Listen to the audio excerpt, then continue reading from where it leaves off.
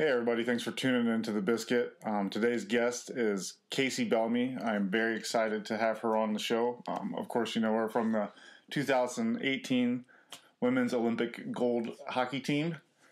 And um, she's currently with the Professional Women's Hockey uh, Players Association, um, where they're trying to better the situation for women's hockey players all over the world.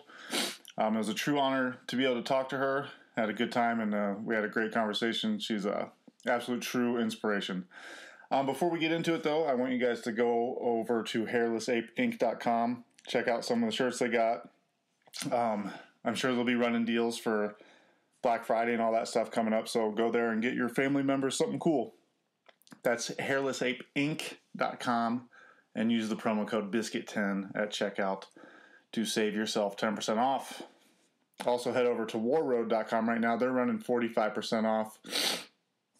Um, and that's the uh, company owned by TJ Oshie that I'm an ambassador for. So please go check out Warroad as well. And parkersplatoon.org. They've got some big stuff happening over there. I know Facebook Live the other day they did uh, Brian McGrattan and Scott Parker, Parker having a conversation. So that's pretty cool. Make sure to check that out. And again, everybody be safe this week if they're traveling for Thanksgiving. I love you guys. Thanks for listening and uh, enjoy this enjoy the episode. And make sure to go check out hockeyfights.com. That's hockeyfights.com where you go to watch hockey fights. Now Probert, oh, Probert's Probert got the, the right, right hand free. He's loose with the right hand and he starts to retaliate and down goes Nyland and the two of them are hammering each other. Knights of Columbus that hurt. It's old time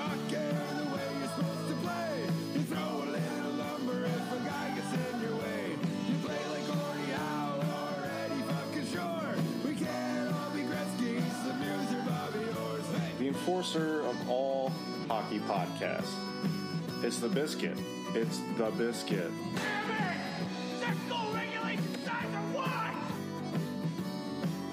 The enforcer of all hockey podcasts. God help the fucking day if fighting's ever banned. As our country will stop working on Sabatmas fucking cans. Hi, everybody. It's the Biscuit Podcast. Hey, you wanna go? Yeah, okay. Good luck, good. Luck to you too, buddy. All right, I'm going to have to gather my uh, breath and wind here because this introduction is going to be quite the hefty one here. This is quite the accomplished hockey player. Um, she was the captain at New Hampshire University. She's an eight time World Championship gold. She won three Canadian Women's Hockey League championships. She won one National Women's Hockey uh, League championship, uh, a two time silver Olympic medalist, and of course, that Olympic gold, that sweet, sweet Olympic gold. And she completes the holy trinity of Bellamy's. Kacey Bellamy, how are we doing? I'm good. How are you? Thank you so much for having me. Absolutely, I'm doing great. Uh, I'm, I'm, very honored to have you on here. You're quite the uh, accomplished hockey player.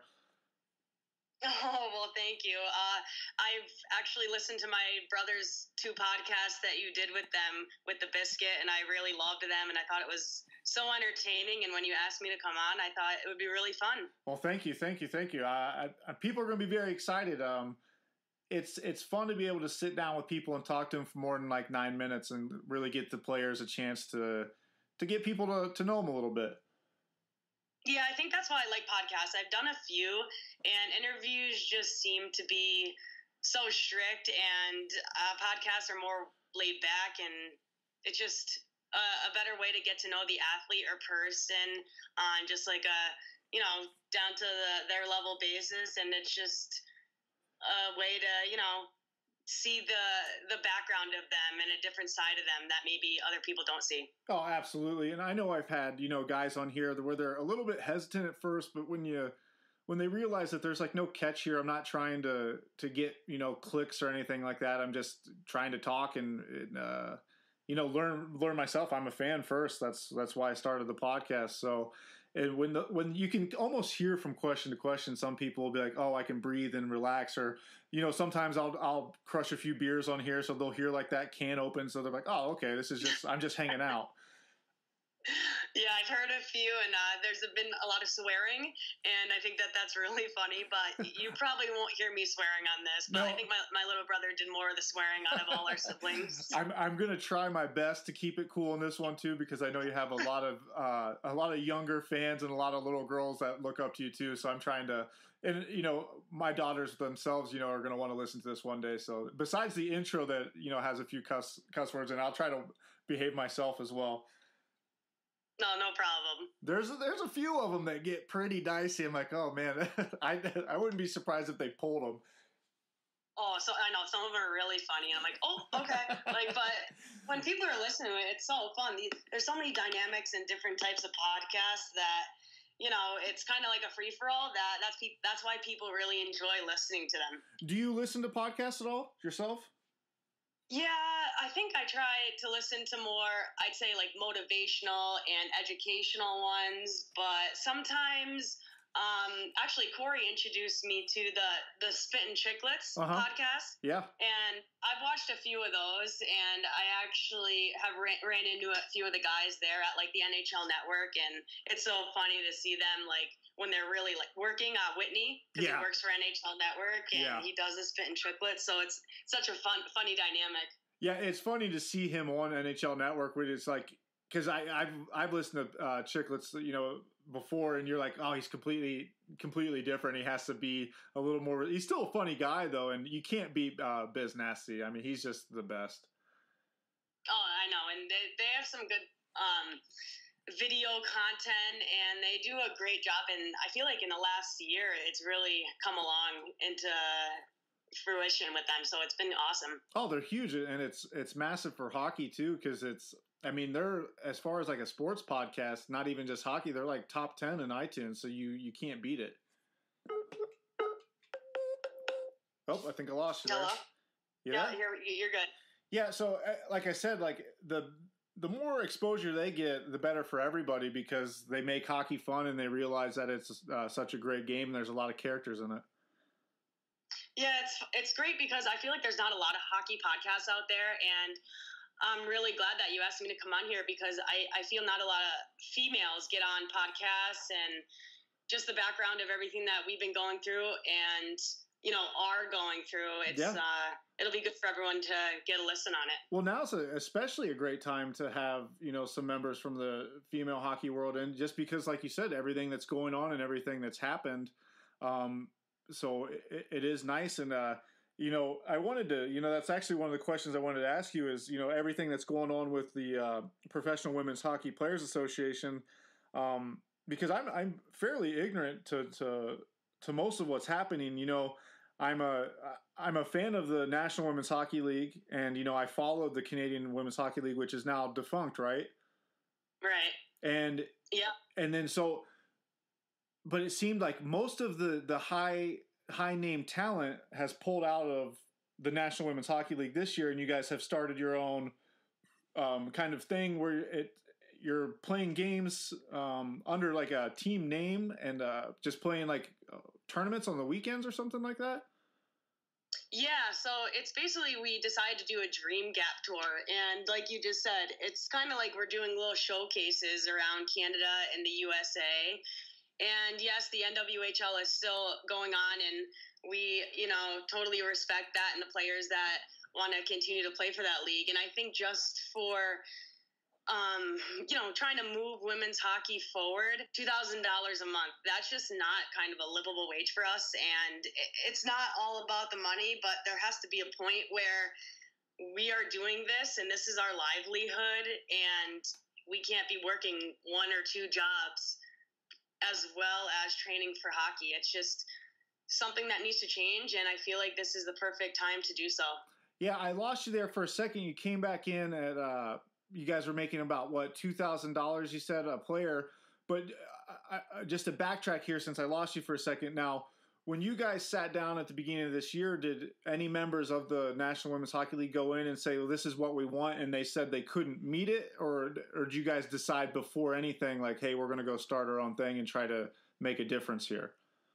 Well, I think that yes, we had a meeting with the NWHL, and there were a lot of questions that were asked, and a lot of questions that really weren't able to be fully answered. And yes, they have made some, you know, great changes, but still, it's not enough for what we deserve as, you know, being women's hockey professionals. And I think that that was the biggest thing. It was if we keep playing in that league, is it going to just stay the way it's been, or do we start making a push for something bigger? And like I said, this is the time to do it. And the biggest thing is for me personally. I, I digest a lot of things and I think about a lot of things, and I have my brothers that I've grown up with. Uh huh. And I have trained the same exact way throughout my whole life as a male hockey player. And I am one of the, you know, best players in my profession. Why, just because I'm a female, can I not, you know, get that opportunity like the male? And I think that that's my biggest thing. And I'm not, we're not, we aren't asking for millions of dollars, but it's little things like health insurance that we don't have. It's little things like just having a locker room hmm. to keep my equipment in and not having to take it in and out of my car every single day. It's those little things. I wake up and I go to 6:30 a.m. practice and there's sometimes only 8 players there and that's a really hard adjustment trying to be a professional at 33 years old now. Gosh, no, 32 years old. I'm only 32. Yeah.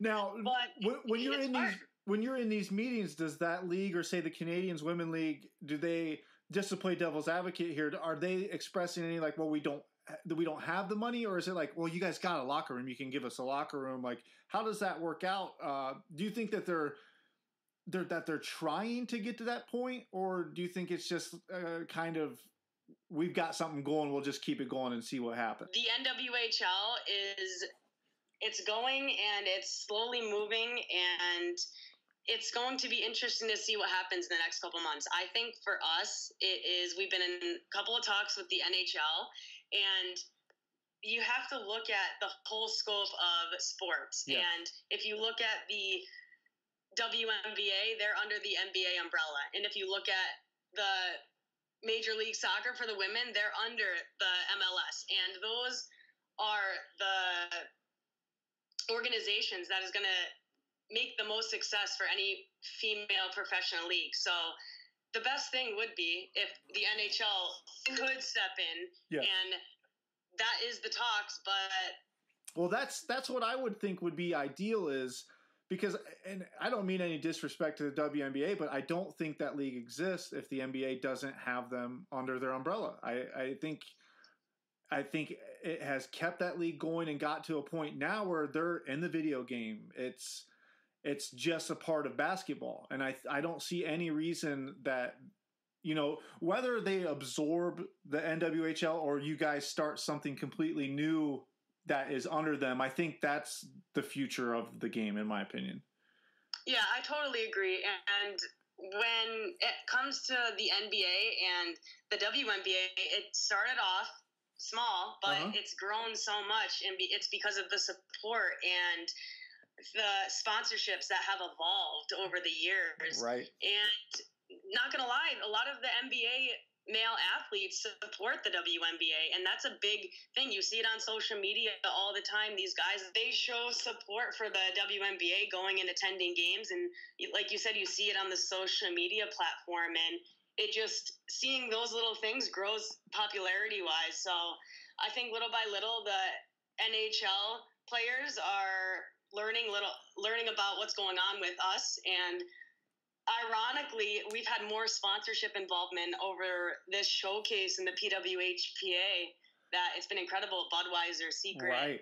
and it's been great Well, I, that's what I wanted to bring up about you know the showcases you guys have been doing. It seems more professional and sponsored better than say you know the CWHL or the NWHL. But it, it would it would seem necessary because, and uh, again, no disrespect to the players that have stayed, and it's good to hear that there's no bad blood between the, you know the players that have stayed in the league. But a lot of the most talented you know ladies went and went to the showcase. I mean, all the all the big names, including yourself, are are a part of the uh, the showcases that are going on. Yeah, we had a lot of meetings and conference calls after World Championships last year, April, May, and we, you know, we asked whoever wanted to get on board would be on board, and it's been very successful. Even though we're not playing as many games as you know you are in a regular season, but whoever stayed in the NWHL, we respect that so much, and you know, this is a love for the game and it's understandable if people still want to, you know, get a few more years playing and stay there. But you're absolutely right. When it comes to um, the girls that have big names right now in the women's hockey field, uh, in my opinion, these there's some girls that are playing that are going to go down in history as the best females to ever play this sport. No doubt, You have- right? You, you have like Meghan Agosta, Marie Philip Poulin, um, Rebecca Johnston, Brianna Decker, Hilary Knight, Kendall Coyne.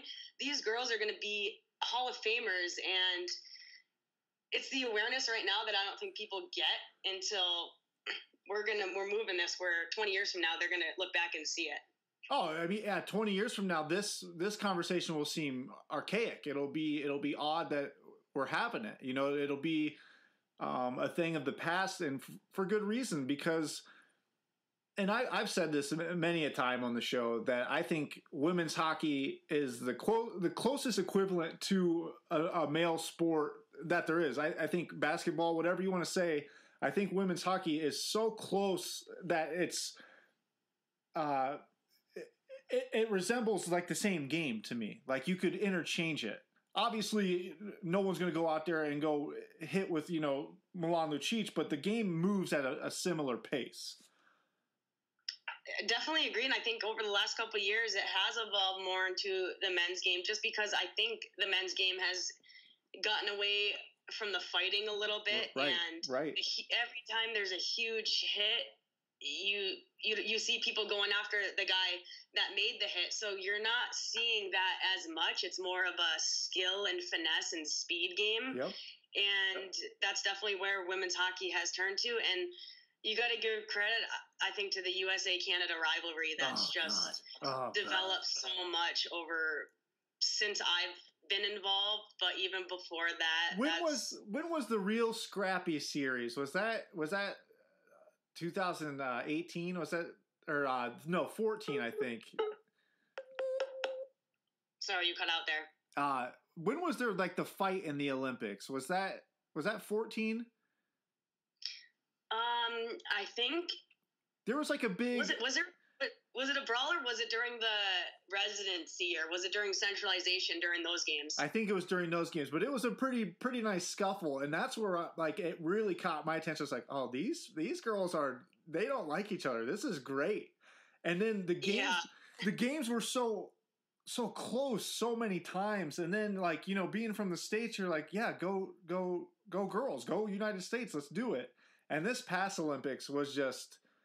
I mean, magical for so many reasons. I have, you know, I have two younger daughters, and them the all they'll ever know is women's hockey. I mean, the, my oldest daughter is four, so she she she has always seen women's hockey. So it's absolutely incredible what you guys are doing. But that, I agree with you 100 percent that that rivalry. Oh, name a better rivalry in sports right now. I know, and I think that those fights were in 2010. I remember we had a like six games against Canada, and I think there was a scuffle or brawl in about three of them, and you know, it just ignites this passion that we have for you know the game, and it's just so fun to be a part of, and you just want to stick up for your teammates. And Mhm. yes, there's no fighting women's hockey, but there gets to be a point where there's so much blood that boils within the rivalry that you know it just gets heated from time to time. And that's okay. And that just shows that you know you're just passionate about it and you know you're gritty and sometimes that just happens and yes this past olympics was incredible the 2014 was a unbelievable finish for canada Yeah. I, rivalry and every time we play them i don't take it for granted one bit and it's just those games that you get up for it's just unbelievably different and I try to motivate myself. Yeah, so after, like I said, 2006, the U.S.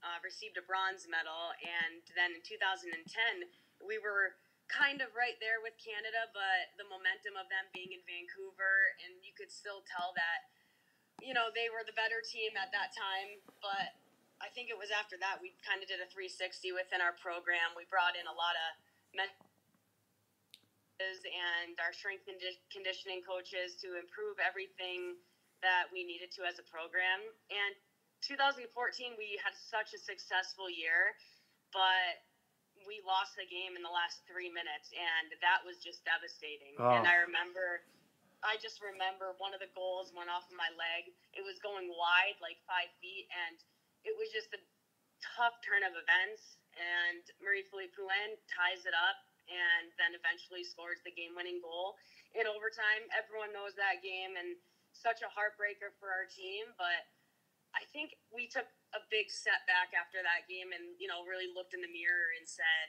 did we do everything that we could? Were we the most prepared that we could be?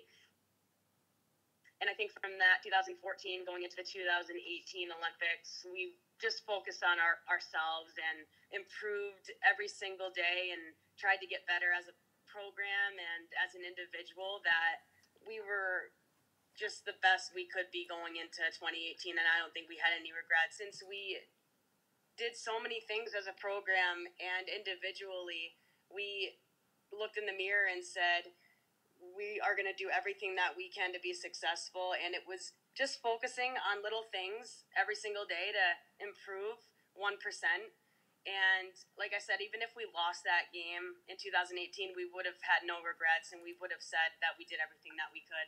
And I, I think, you know, losing in 2014, I think it made the storyline better. I think it might have made that gold a little sweeter to come back and win it. And that that's just the, you know, me being an outsider, but it, it seemed like almost like a Rocky movie coming into 2018. Like it's a, a little bit of revenge here.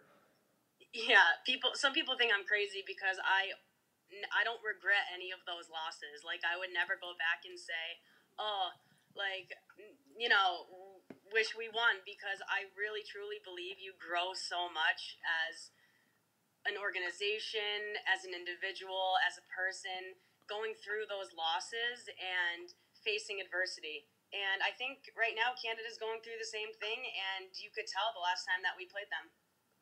Yeah, I, I think now they are full blown worried about our our our uh, women's national team. Like they, I I think from here on out they they have to realize that it's one A one B. Well, right now, like it's it's really just anyone's game. The last time we played them, we played them in Pittsburgh oh, two weeks ago, and they they showed up to play. Did they? And it was a big wake up call for for us. And you know we they've been doing a lot of things with their program, and they don't like to lose. So after that 2018 Olympic, you know, silver that they got, you knew that they were going to change some things and turn things around. And you can tell that you know their program has done a good job, and we, you know, it was a good wake up call for us. We need to you know, show up to those games and, you know, make sure that we're ready and build that rivalry just like it's been going. And in your opinion, who would be the, the third best you think nation that you know? Obviously, it's you guys in Canada, but is there is there a, even a close third behind you guys? Yeah, I would I would say Finland is right there. We went into overtime with them in the World Championships. There was a little controversial controversial call there in overtime, and depending on what kind of fan you are, a lot of people say that Finland should have won that game. But you know, they have a lot of talent on that team, and they've really improved as a federation. But we'll see the next time that we play them. I've heard that a lot of girls are retiring, but I hope not because it's really great for the sport and women's hockey as a whole. And you, you said, like you said, you guys played in Pittsburgh a couple weeks ago, and then last week you were just at um, what was like a sort of development camp just to, to get you guys together again. Well, we had the development camp right before we played Canada, so we were in Pittsburgh basically for seven days, and then Okay. at the end of that, at the end of that, we played Canada. Now, how does that work? Is do you guys all get flown out, or is this part of something where it's it's coming into your own pockets again, or is, is the uh, Olympic team taking care of these things? Yeah, the national team takes care of all of our all of our travel and expenses when it comes to going to camps and tournaments for them. And the, you know, the national team is our priority. Right. And so everything that we're doing every day is, you know, training for them and being able to, you know, work out and skate. And it's just being able to go to there and try out, go to a camp and, you know, put your best foot forward every time you step on the ice. So Now, for us, we get our income from USA Hockey. Now that would ha- have to be something negotiated too if the NHL was to take over because I mean Canadian or Canada and United States women both sides would have to say you know make it very clear that you know the national team is priority still. It's not like the NHL where they can afford not to send the boys over because it, the it, it'll it'll work itself out. It's not the same kind of deal with the the women's team right now because we want to see the the the very best. We don't want to see the college players from women's hockey. Not quite yet. We want to see the Hilary Knights, the Kacey Bellamy's out there playing. Yeah, and I think that that's kind of the decision that needs to be made. And I, for us personally, I I know that we'd want it to be in a way of the NHL takes over and we're getting paid, and kind of that's our priority, just like the men. Yeah. And I think then we wouldn't be centralized for the Olympic year, and we would be playing in that season with whatever league, you know, whatever teams were on for the league, and then we would go to the Olympics or that camp, kind of like they do for the NHL and Yeah.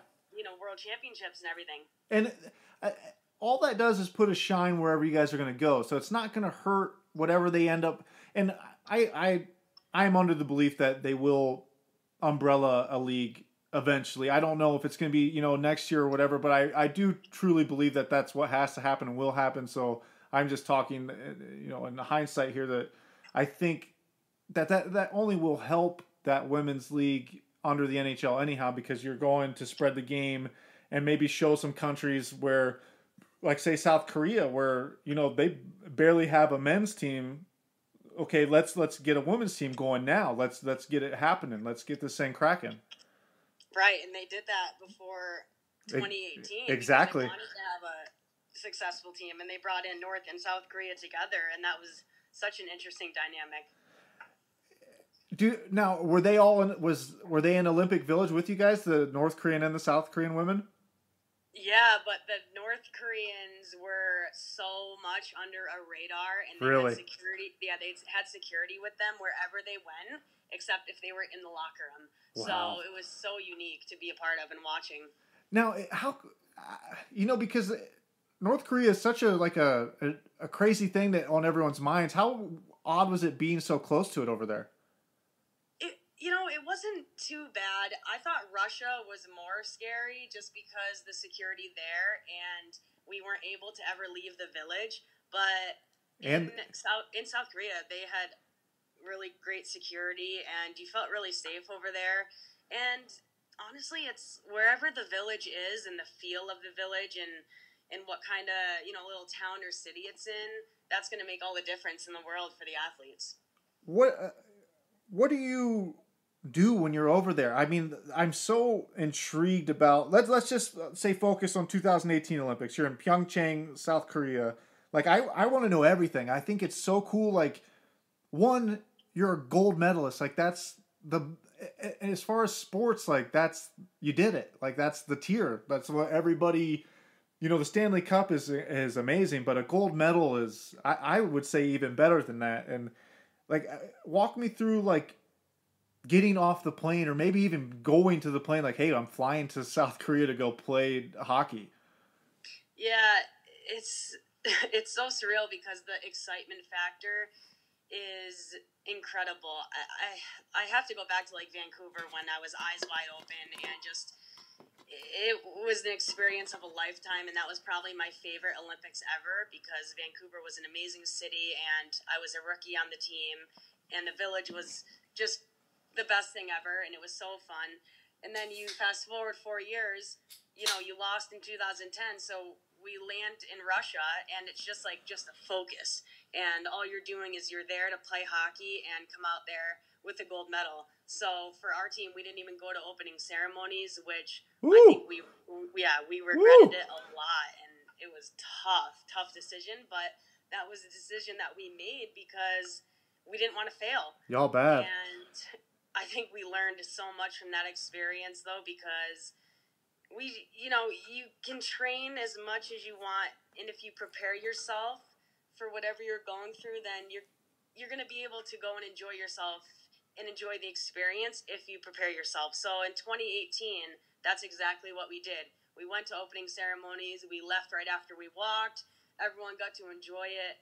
But then from there on out, you know, it's this, you know, we're playing hockey. We're here to compete. On the days off, you can go spend time with your family. You can go watch other competitions. And we had that great balance as a team and as a coaching staff. Everyone understood it because we laid out those, you know, those experiences that we went through and that we didn't like and things that worked and, you know, didn't work in our past. And you guys got that fly ass polo gear for uh, Pyeongchang, right? Oh, that's one of the best things Dude. ever is getting all the apparel. It's like Christmas morning and you just walk in and you have this fashion show with all your teammates and you pick, you pick the best gear and sometimes I try to snag different sizes or trade with some of the males that we have on staff so I can give them to my, you know, siblings Yeah. or other other uh, family members. So it's really fun. And Pyeongchang, you guys got the Lloyd Christmas gloves, didn't you? Oh, that was the best. When as soon as my brothers saw those, they were telling, talking to me about it. But those, those are in a bin downstairs, and I don't even know if I'll, I'll even Dude. see those for years. But they're the best things ever. You got to get those bad boys out tomorrow and wear them around. I think one of my teammates did like the Lloyd Christmas. Uh, what was it from? Live? What was it from? Uh, Dumb and Dumber. Dumb and Dumber, and did like the photo of him, and then she did a photo with them. It was just hilarious. We landed on the moon.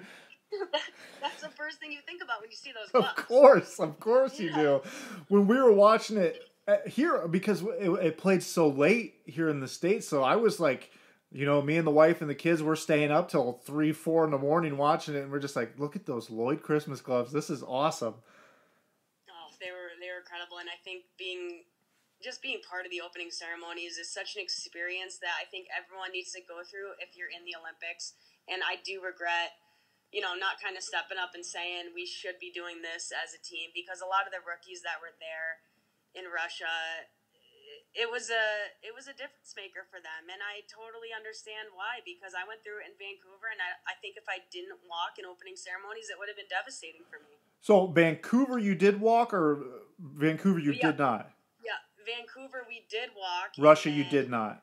Russia we didn't because we had a game the next morning, and Okay. we just thought it was better to like to rest. But And it's once in a lifetime. yeah, so what? Vancouver, you would have been like twenty one. Yeah, I think. Uh, yeah, I was 21 at the time in Wow. Vancouver. And are you able to realize that you're in the Olympics at that time? Like maybe, like you said, I should enjoy this, but you still have like a lifelong goal in your head and like everything you've worked to. Are you able to get any enjoyment out of it, or is it all business? Yeah, I I think with experience you understand how to balance it. Um, Vancouver, I really took it in and had had such a such a great time there. And the, the one moment that stood out was during the opening ceremonies when I was walking with my team and I saw my parents up in the stands Mm-hmm. and there was like 15 to 20,000 people there and I just started crying cuz it was just everything that you worked so hard for and your dream finally comes true. And I didn't realize it till later, but mm, it's not just about for a lot of some people it's about being in the Olympics and just making it there, but I'm so competitive that I want to be the best and I think losing really opened my eyes a lot and saying I need to work my ass off a little more and I want to win a gold medal and from after Vancouver on that was my number one goal.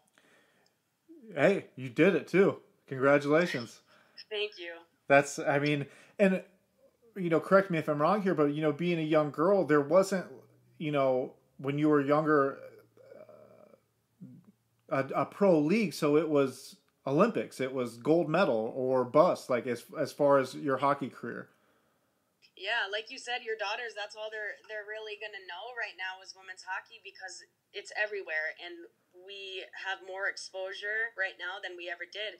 But when I was little, I didn't really have that and I didn't really have anyone that I looked up to or say Right. I want to I want to be that athlete when I grow up. No, I was saying no, I want to be Ray Bourque. I want to be in the NHL Exactly. because that's all I knew and that's all that was shown to us. Yep. And and that shows now because I watch hockey constantly. I have a problem. And you know, if you ask my daughter, you know, who's her favorite player, it, it'll be Hilary Knight. You know, it mm-hmm. it's not you know, I've had a, a few women from the National Women's Hockey League on here and you, you ask them who their favorite player was when they were a kid, it was a, a guy from the NHL, like yourself. It was Ray Bourque, or you know, I think that that's going to be so it, it, not going to be. It is. It's incredible, and it, it it makes you know when you have kids like I become such a a softy. Like it's it's it's insane. Like, but it like makes my heart smile to know that my daughter has you know female role models to look up to in a sport. Like she's out skating, you know, Wednesday night, and she's like, "Oh, I, lo- I love skating. I love playing hockey. I want to play for the women's team."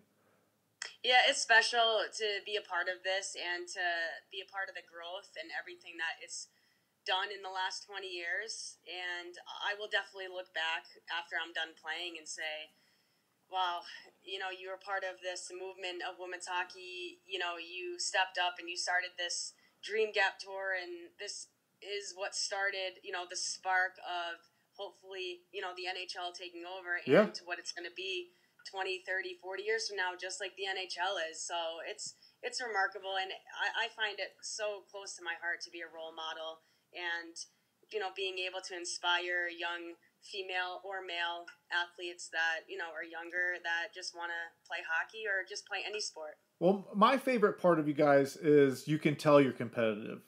That's what I like about it because I'm like you. I, it, if we're throwing pieces of paper into the trash can, I want to kill you. I want to win. Like that's just the kind of person I am. It's how I grew up, and I I dig that about the women's national team because you can tell when they go across your guys' faces for the national anthem that it's going down and we're going to win. Like there's no doubt in my mind when I see you guys line up. Like they've all come to win this game.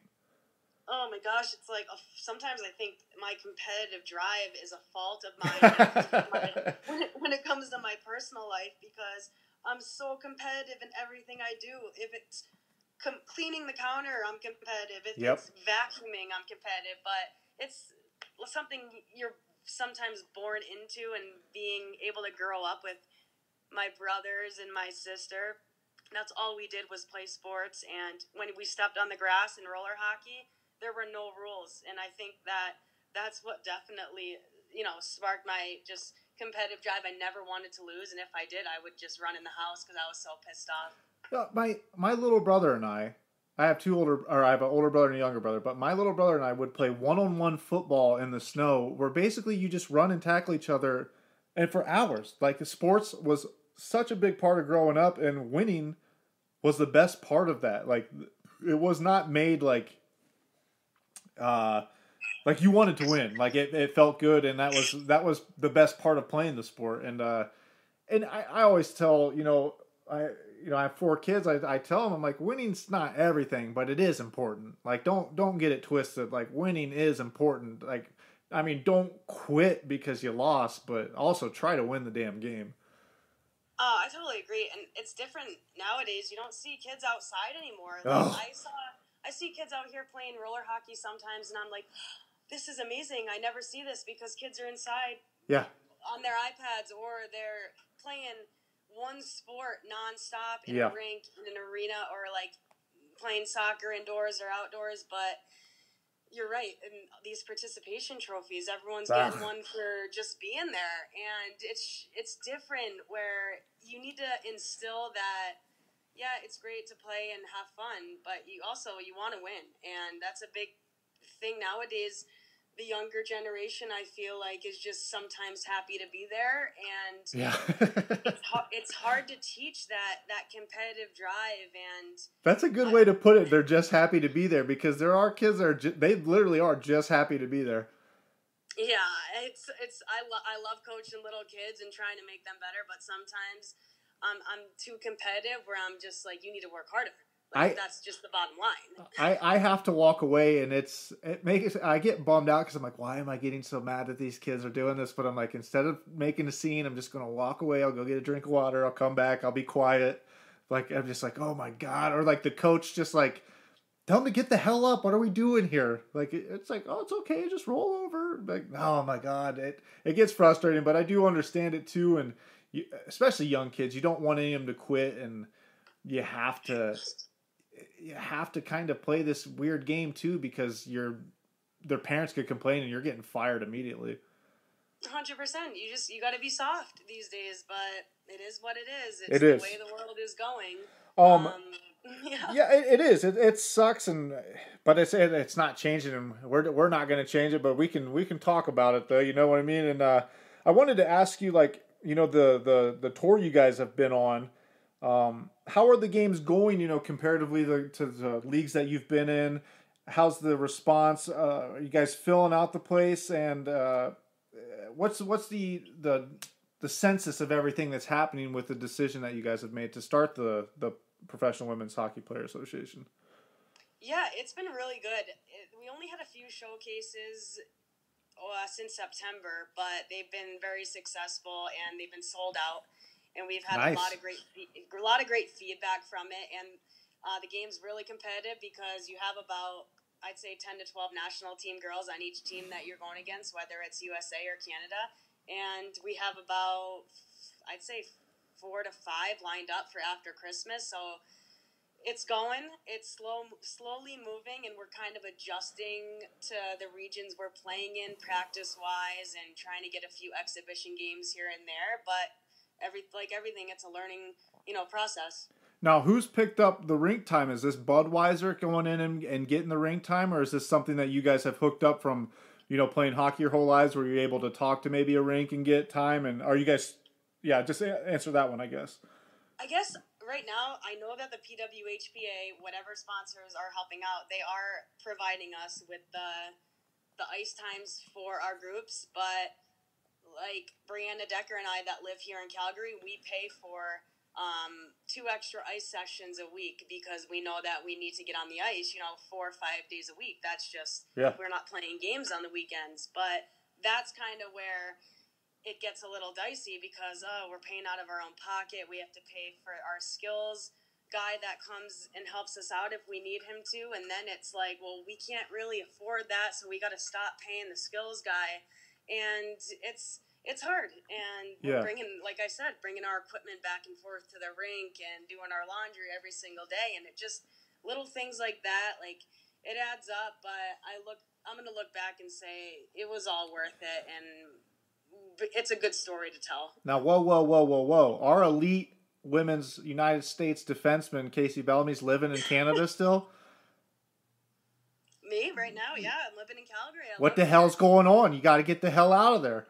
Oh no i don't know i just experienced it last year. It was a move that i made with um, one of my couple of my teammates actually and we loved it so much. It's just a great area and to be honest yes there's a big rivalry with us in canada but being able to come here and practice with Yeah. the canadian national team girls and get to know them as people that's one of the most special experiences that i've had in my career we all know when we step on the ice that it's Hey. going to be a battle and it's it's a respect factor you know Keep your friends close and your enemies closer. exactly uh, do you ever go to the Stampede when you're out there? oh i did this year it was one of the things that i put on my bucket list that everyone said i needed to go to the stampede so i came back a couple days early and it rained but it was still fun it was That's it's it's just like a big festival with country music and you know rides and co- like concerts everywhere it's really awesome if there's country music in the Bat Blue, I'm in. i'm trying to get rob I, i'm trying to get Dude. rob and ayla to come play the stampede next year They have to. They well, they would be perfect for it, right? yeah they'd love it too They, uh, yeah, they. Uh, we gotta get. We gotta make that happen. That's gotta Yeah, happen. We gotta, we gotta make a few calls, find some contacts that they, they can just come on and sing like one night for you know three hours or whatever. Yeah, that. how That's crazy though. Did you ever think like? how talented Rob was at hockey, and then he's even a better singer than he was hockey player. Yeah, that kid though, when he gets his mind set on something, he's going after it 100%. And I've just loved following his journey. I remember the first time he picked up the guitar, he he hasn't put it down since, and he's made me video him and singing. And if he messes up, he he'd say, "All right, okay, you got to start it over. That wasn't good."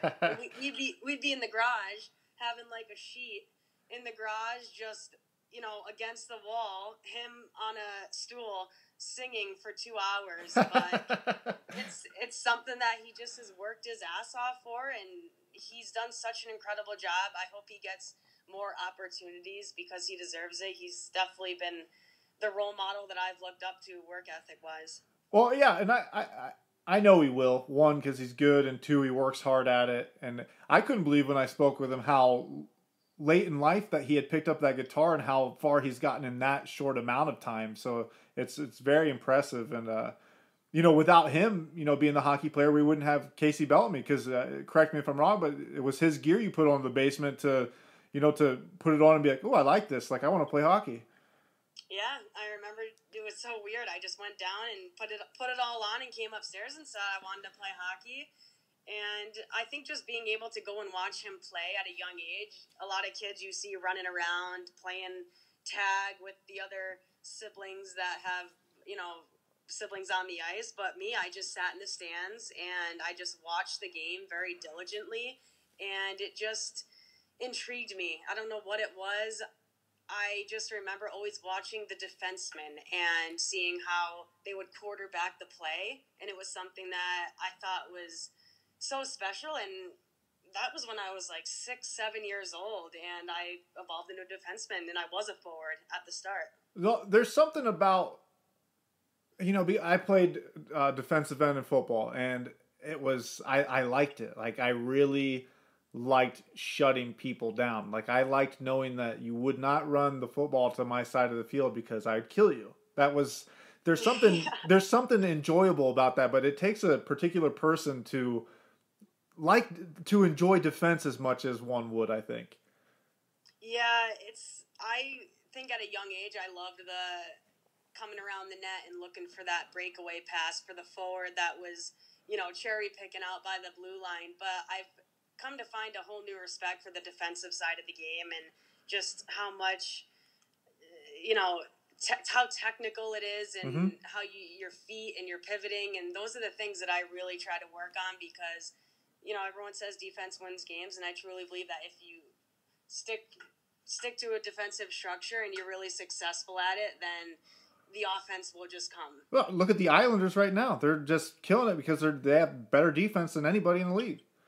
Right, and uh, you know, hats off to different the different systems that coaches play. It's it's really fun to watch, and I think that watching the NHL has helped the women's game because the coaches that we have watch NHL all the time, all the time, and slowly we're trying to get there when it comes to the power play breaking out and like drop passing in the neutral zone. It's you know it's a learned behavior, but it's you just have to keep doing it, and it becomes natural yeah. over time. Um, have you guys had the same kind of coaching staff through your career for the national team, or is it does that change a lot? Of how does that? Because that I don't I I pay attention to you guys, but I have not paid attention to the coaching staff at all. I just realized that as you're saying that. Yeah, you know, I've had probably four to five different core set of coaching staffs. Um, I think more in the beginning of my career, it changed every single tournament, but more so, the coaching staff stays for like the whole four year cycle. And now right now we have a you know former NCAA men's hockey coach. He coached the NHL, and it's great because we have this balance of you know coaches that coach the NCAA, so they know those players, but then you have coaches that just come in and really don't know us whatsoever, and they they evaluate us just on what they see right here. Now, this might be another game changer too, as you know, some of you here in the next you know 10, 15 years get to an age where you're not going to be playing hockey anymore and start coaching, I think, and this is just an opinion I have, that I think women's coaches for women's sports, I think makes more sense to me in my brain. And I, I don't know how that, if that even matters to you or, or not, but I think just being able to stay in the room the whole time where it's not inappropriate. I think that would be a game changer. Do you do you have any thoughts on that? Well, I've had both, and I've had both at different ages, so it's very. I'm neither here nor there. I find the biggest thing is if you're a coach, you coach. Yeah. And you don't get in the personal lives of your players, and you don't try and be the mental skills coach and this coach and that coach. You just you want to be the coach of what you know of hockey, of what you're you know hired to do. I think in the past with some of our coaches that we've had, they have tried to, you know, play mental games with us and try to get in our personal lives and it just doesn't work with females. Yeah. And I think the coaches that just are there to coach hockey and treat us like professionals, those are the most successful coaches that we've had. I think it might be like my father defense, like because I'll, I'll think of like a a dude fresh out of college who's never played volleyball, but somehow he's coaching like high school girls volleyball. I'm like, what are you doing here, guy? Like, what? like, you really enjoy girls volleyball, high school volleyball that much, or are you being weird? Like, and maybe that is just like my helicopter parenting, but I'm like, you're being a weird creep. Now I have to show up to every practice. Now I'm weird because I'm here. Like, may, maybe I'm just being too too much. I think. Yeah, I think you're being a little too much, but I, I, I think there has to be some type of like experience involved in whatever level that you're coaching in. I mean, I don't think I could ever just go and coach a soccer team because I've never coached a soccer team. You know, I just Right. that wouldn't I wouldn't even feel like I would be suited for the job just because of that. Yeah, I just gotta calm down. I think Yeah, I think you, just, you, got, that, you got that fatherly that's what it is. intuition inside. I just don't trust people, and I'm like, don't look at my daughters, man. I know. Spe- Especially volleyball. They're they're four and two, by the way, so it doesn't even. Oh, that's cute. They're playing volleyball? no, I'm just that's how crazy I am. Oh, yeah, that, that's a little crazy, but you're fine. uh, yeah, and I, I wanted to ask you, you know, um, something that I've I've noticed particular about your game specifically is your your your shot blocking, and I it's not something you see a lot of in in, in women's hockey, but I think that you've become a, a virtuoso of it. I think that you might be the best defensive blocking at blocking shots in women's hockey. Um, is that something that you were scared of at first, or like how did you master that? Did you have a certain coach, or was it from playing with your brothers? Because you've developed it, I think, uh, you know, from your freshman year at New Hampshire to now, you've literally become a master at it. Well, I don't, not sure where it kind of developed. I think I have, I don't know if it's, it's instinctual or it's just bad habits, but I do, I do tend to just go, I always go down on one knee with my stick. Well, that's the style now, right? Yeah, but even uh, like if it's on a power play or it's a two on one, you either see me go down or I use my stick all the way. I go all the way like down to the ice with it, and I've gotten told don't do that, but It works. eighty percent of the time it's worked for me. Yep. And I just, I don't know if it's a habit I'm ever going to break now that I'm 32 years old, but. I do think growing up with Corey, he has no fear whatsoever in his body, and he scares me sometimes, but it's such a way to live that he is just sometimes I just want to live like that because I, I do live like that when it comes to on the ice and with hockey and with athletics, but I try and be a little more careful, you know, off the ice. But definitely Corey is someone that I, I've seen over the years of he has played with like seven different teams in three years and he doesn't care he just wants to be out there and he'll Mhm. fight anyone Yep. he doesn't care if he gets 50 stitches or breaks his arm or what whatnot within it but that's something that is it's it's so it's special but it's dangerous at the same time but living like that and having no fear is a characteristic that you can't really teach and i think you're just born with it Yeah, well, and that's that's cool. That's not lost on you either. That you know you've seen because what what Corey did in the in the leagues that he did is it's got to be one of the hardest jobs that, that you could just have. To, and he loved to like he signed himself up for it. He was driving to go do it. Like, yeah, I'll I'll join that team. Let's go. Yeah, Corey and I have some uh, biffs here and there because he's like, What are you complaining about? You play hockey for a living. I'm off here, like going from team to team. I don't even play, and they just ask me to go fight people when we're winning six nothing.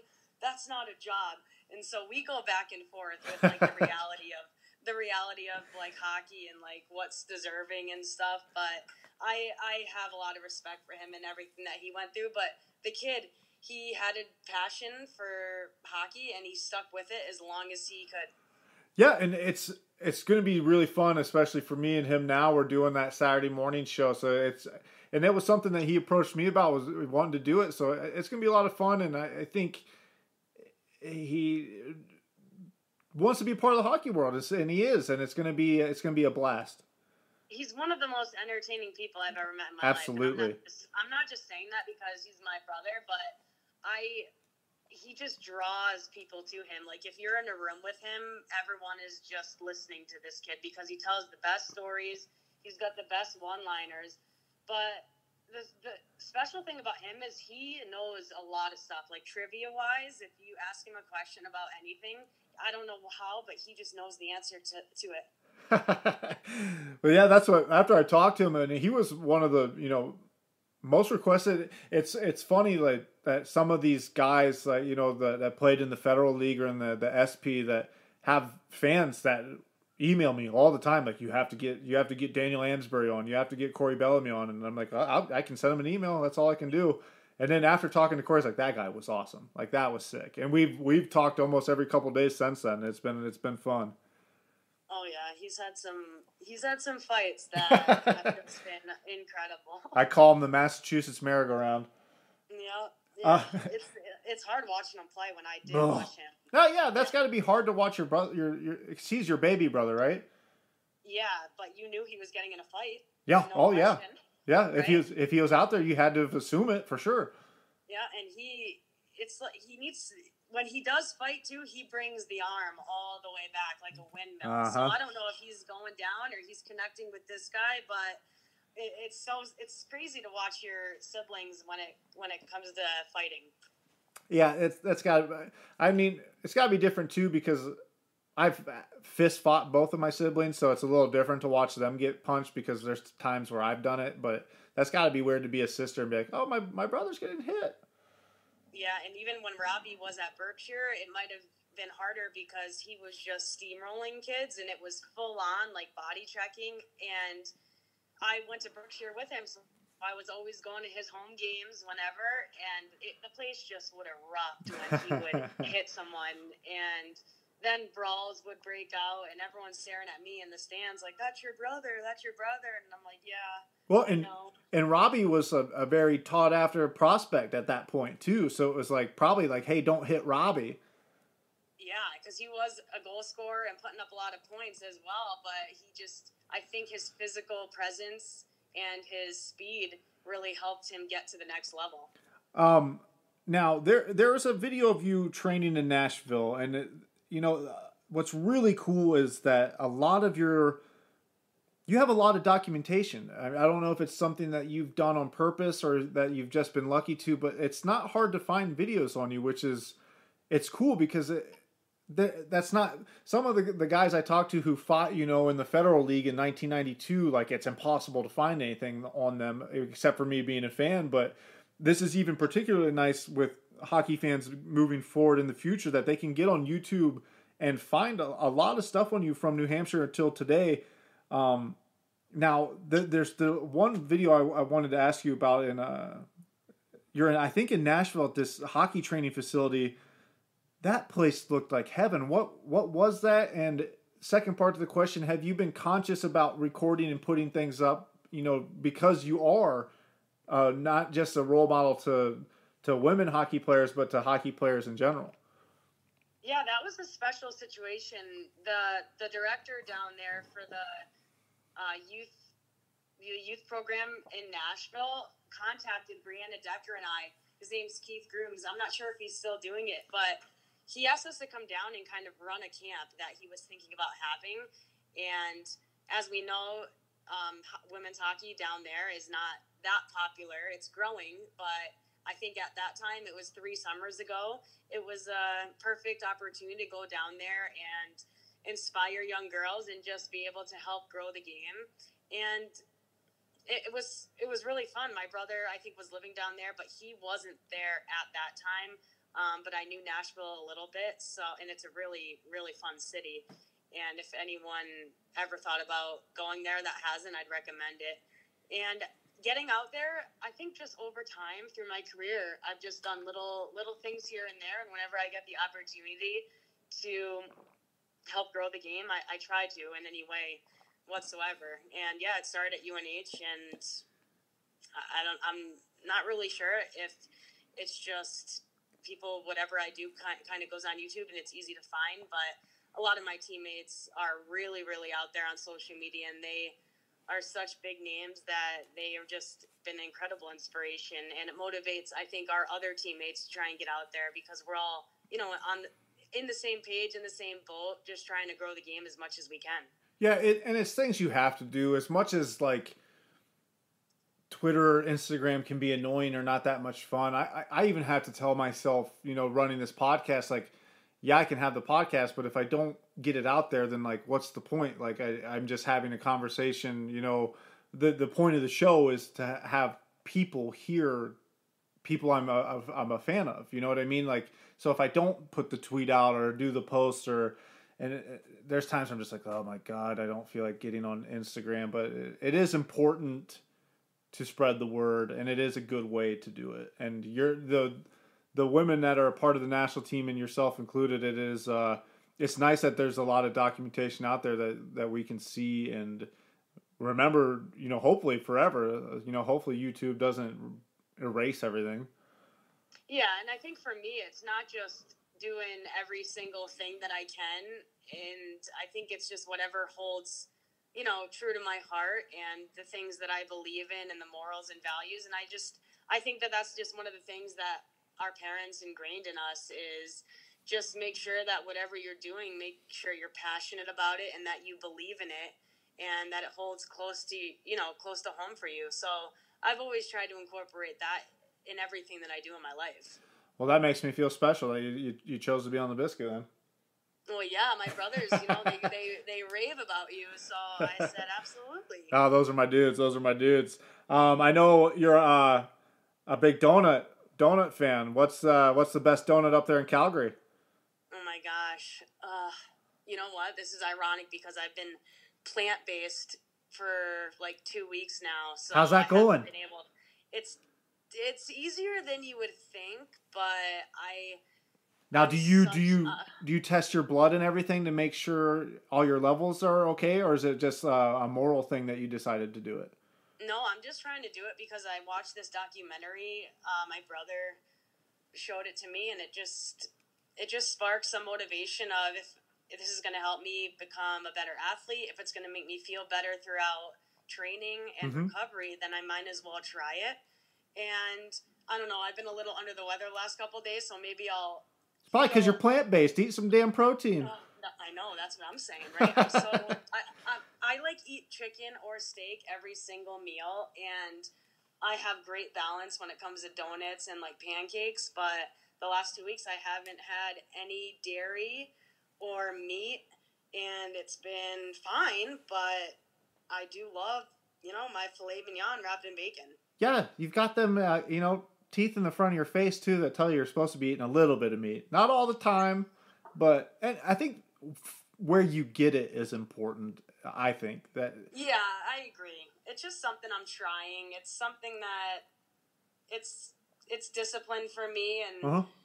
you know, it, it's good for me.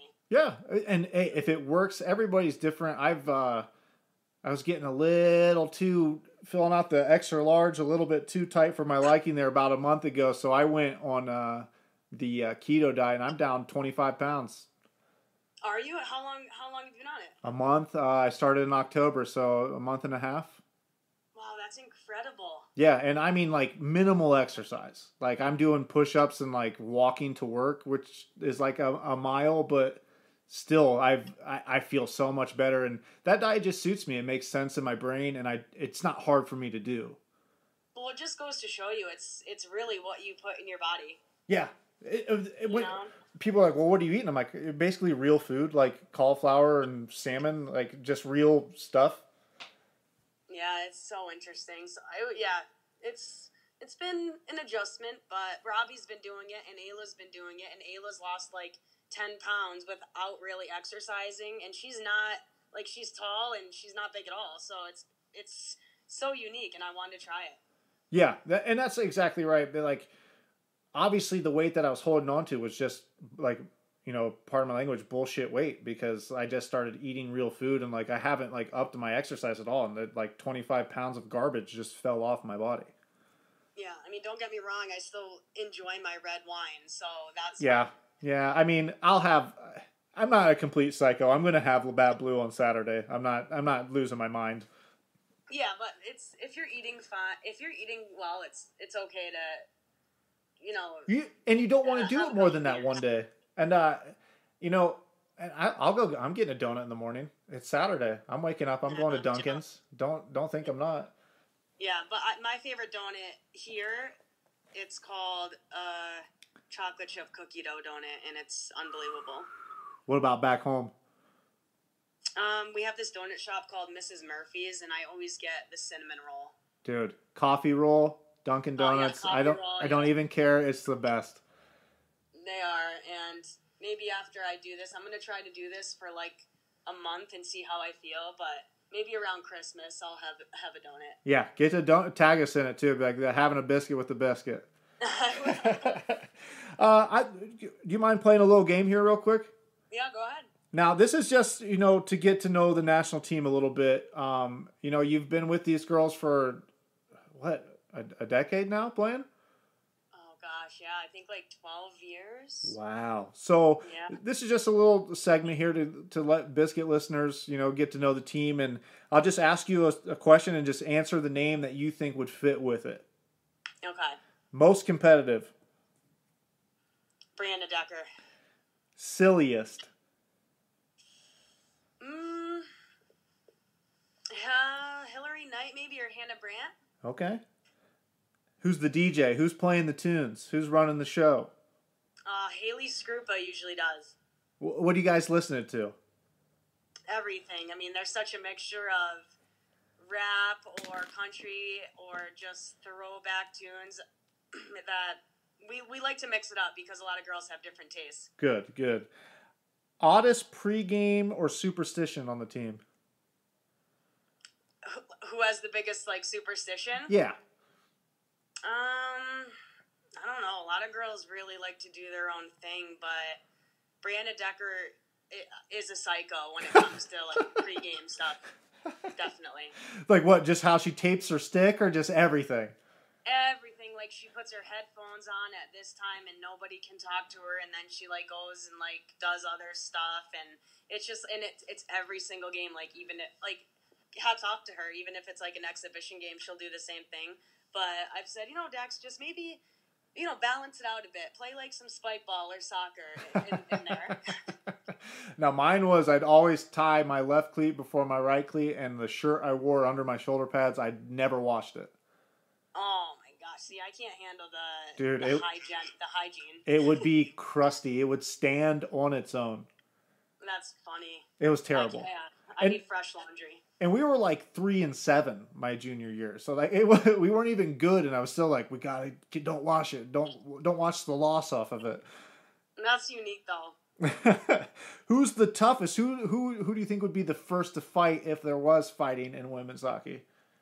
The Lamoureux twins or me? Oh, okay. I could yeah, I could see that. Yep. And any hidden talents on the squad? Is there like a phenomenal singer or like somebody a downhill skier or a magician? Um, gosh, I'd really have to think about that more. I'm I'm definitely sure that there's Well, here you go. Do a that- talent show next time you guys are together. yeah, there has to be. I know we we got some good dancers on the team. Who's the best dancer? Right. Mm, Keller's a pretty good dancer, I would say. Okay. All right. Yeah, Uh, well, yeah, that those are the, the quick segment I had. Thanks for answering those. absolutely. Um, now, like I said, I, I have a daughter just turned four, another daughter who's two. They both love hockey. You know, they love being out there on the ice. Um, do you have any tips or advice or drills for not even young girls who are playing, but young athletes who are looking? Because I would assume at a young age you knew you wanted to do this at a certain level. What would you say to somebody at that that can that has that realization that maybe hockey is something they want to do with their future? Well, obviously, I think if people are getting into it, they love it, Right. and so that that right off the the hop is, I would say, love what you do, no matter what. As soon as you stop loving it, then get out of it. Mhm. And I, but in front of all that, work hard, and no matter what sport you're playing, what position you are, I, I'd say be the hardest worker that you can out there. Keep it fun, and you can keep it fun, like in the locker room and in between drills. But once you know that whistle blows and you're in it, you, you need to work your butt off, and that's going to be the difference maker in anything. I agree. I agree. Hard work, you know, it, it always pays off no matter what. That's that's just the truth. Um, That's true. now, what's what's the future holding with you? What do you got going on here in the next few months or the next year or so? What what's happening? I know you know we've talked about you know the the hopes for the professional women's hockey uh, uh, players association, but wh- what's going on and you know where are you going to be? So right now I'll be in Calgary for the next couple weeks training, and then we are off to Hartford, Connecticut for uh, winter camp. So we'll be there for five days, and then a team will get picked, and from there we will play Canada, and we'll play in Hartford, Connecticut, and then we'll play in uh, Moncton. Now, do you guys pick new teams every time for the for the tour? Yeah, every time we come together, it's basic. It's an evaluation and it's a tryout for the next team. So you're never you're never a shoe in for a team. So you're always going to have to come in prepared, and you're we're testing and making sure that everyone is you know doing what they need to be doing at home, and then the coaches and the GM pick the team from there And that- the, the games. Uh, That's for the national team. Yeah, so the national team is every single year except for the Olympic year, and then the Olympic year is called the Olympic team. Okay. So, national team. And then what about the the players women the players association? Are you guys drafting teams every time for those those series too? Yeah, it's whoever really is the sponsor of that weekend. They're getting to choose Okay. along along with our PWHPA, you know, board who who's going to play in those games. I think we have over 150 girls, so we really Wow. want to even it out and get everyone involved in as much as they can. But January um, 11th and 12th, we're going to Toronto, and there's going to be six teams, so that's going to be the biggest one yet. Hell yeah. Well, I, I wish you the best of luck with all that. Um, you know, you keep winning the way you do, you're going to need a trophy house, not a trophy room. And you make everybody here in the United States proud. And it was an honor to talk to you. And, uh, you know, congratulations for everything that you've accomplished in your in your hockey career. And um, I, I look forward to, to watching it grow even more. Oh, well, thank you, and I appreciate you having me on the biscuit, and thanks also for having my brothers on and for you know breakfast with Corey and everything. that one's gonna be fun. That, that that one's gonna be a good time, and it was uh, you know a pleasure talking to them and a pleasure talking to you. And your parents did a good job. Oh, well, thank you. We appreciate it. All right, you have a good day. Oh wait, before we get off here, you gotta tell everybody where to follow you on the uh, social medias there. Oh, social media. Um, so on Instagram, it's K Bells twenty two, uh, K A Y V E L L S twenty two, and then on Twitter, it is just K Bells twenty two. Awesome, you're an absolute beauty. Thank you so much for your time, and uh, we'll talk again next gold medal. Yeah. Absolutely. Thanks again. have a good night. All right, you too. How many